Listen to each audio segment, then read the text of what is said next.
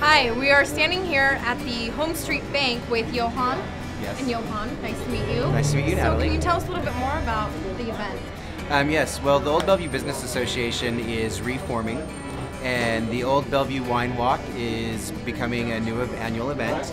Um, we're looking at um, this right here, the little wind twirly, is signifying that when the businesses are having an event, we can put it out so that people that are coming to the Old Bellevue area can go to different places and try different wines. Or during on Halloween, we're to have Monsters on Main, and they can come and actually have their kids trick or treat, and they'll have this out and know what businesses are participating.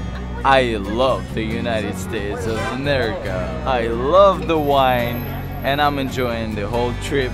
Some more wine, I'm gonna have more wine, but I'll drink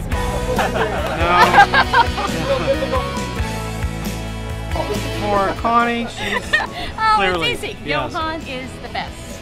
Right there, Yes. Home Street, Johan. yeah to Home Street. Home That's right. Street. And so the event is only on Main Street, is that correct? No, that's not correct. It's an Old Bellevue.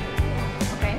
An Old Bellevue is from um, HG Interiors, which is right down here on 103rd, and right by the um, downtown park in Bellevue, So go like this and then around. and around, and then you can walk down by the park, and you come down 102nd, and there's currently today Ambiente Salon.